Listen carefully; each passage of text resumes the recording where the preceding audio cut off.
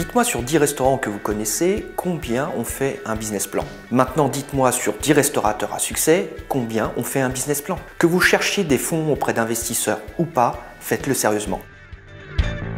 Rappelez-vous quand vous étiez enfant et que vos parents préparaient le voyage d'été. Ils s'installaient sur la table du salon et étalaient la carte routière. Et oui, il n'y avait pas de GPS. Ensemble, ils étudiaient le meilleur chemin possible en fonction des autoroutes, de prix de celles-ci et du temps gagné. Ils essayaient de faire coïncider nos moments de ravitaillement en essence avec nos moments de restauration. De plus, papa préparait une checklist de l'ensemble des révisions qu'il souhaitait faire sur notre vieille 405. Maman préparait les sandwichs en fonction des goûts de chacun. Enfin, puisque la climatisation n'existait pas à cette époque, nous évitions de traverser l'Espagne en plein après-midi. Il mettait toutes les chances de notre côté pour arriver à destination dans les meilleures conditions possibles. Eh bien, pour votre restaurant, c'est pareil. C'est votre feuille de route pour réussir avec votre affaire.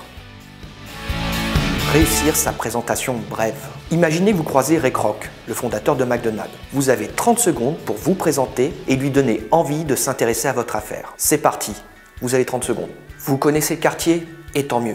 Mais votre banquier adore les chiffres. Pour réussir une analyse de marché sur la clientèle de votre quartier, vous pouvez utiliser la méthode de l'échantillonnage. Pour cela, placez-vous à un endroit. Comptabilisez le nombre de personnes qui rentrent dans un établissement le midi, le nombre de personnes qui rentrent le soir, pour quel ticket moyen? Je vais vous donner une astuce pour connaître le nombre de clients qui rentrent dans un établissement. Rentrez dans cet établissement, commandez quelque chose et surtout récupérez le ticket de caisse. Dessus figure le nombre de tickets que le restaurateur a fait. Si en plus vous connaissez le ticket moyen de cet établissement, vous avez une idée précise de son chiffre d'affaires. Pour la partie concurrence, c'est pareil. Votre banquier adore les chiffres. Sur votre zone de chalandise, faites un tableau qui regroupe l'ensemble des établissements avec leurs spécialités, leurs tickets moyens, leurs forces et leurs faiblesses. Les établissements dans votre zone de chalandise peuvent être des concurrents, mais ils peuvent aussi vous apporter de la clientèle. Vous devez répondre à un ensemble de questions, dont voici quelques-unes. En quoi votre offre est-elle adaptée à la clientèle sur votre zone de chalandise? En quoi votre offre se différencie-t-elle de vos concurrents?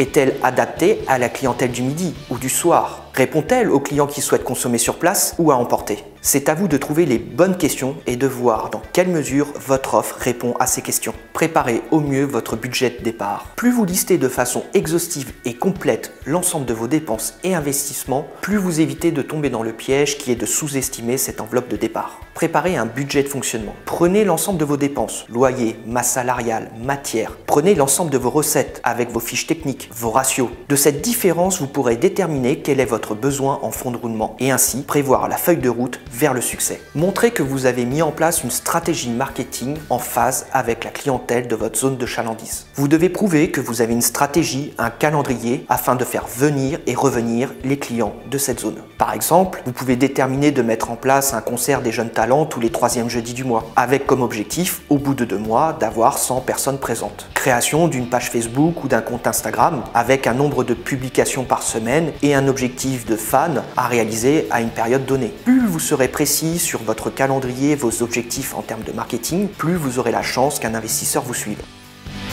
En fonction de la typologie de votre restauration, votre business plan doit montrer à quelle échéance vous allez arriver à la rentabilité. Si quelqu'un doit investir sur votre restaurant, c'est que vous avez réussi à lui montrer que d'une façon opérationnelle, votre établissement est rentable. Chaque mois, vos revenus sont supérieurs à vos dépenses, ce qui vous dégage une marge. C'est grâce à cette marge, ou votre excédent brut d'exploitation, que vous pouvez rembourser vos emprunts et vos investisseurs. Avec ces informations, vous pouvez déterminer une date d'arrivée à l'équilibre financier. Ça y est, vous avez votre business plan. Vous avez travaillé des jours et des heures dessus. Et pourtant, ce n'est pas fini. Vous allez devoir le mettre en forme. Par exemple, prenez la plus belle des photos que vous avez sur votre plat. Une image vaut mieux que mille mots. Une photo de votre futur plat devrait motiver vos investisseurs sans retirer d'informations, soyez le plus précis possible, le plus synthétique possible. C'est à cette condition que vous aurez le plus d'impact. Enfin, si vous avez prévu de présenter votre business plan, montrez-le moi avant. J'espère que cette vidéo vous a donné envie de créer votre propre feuille de route. J'espère aussi que vous avez aimé cette vidéo et que vous allez la liker et la partager et vous rendre sur le site internet de Coach Moresto afin de nous faire part des informations que vous souhaiteriez avoir. Mais en attendant, n'oubliez jamais, Coach Moresto, le pro, c'est vous.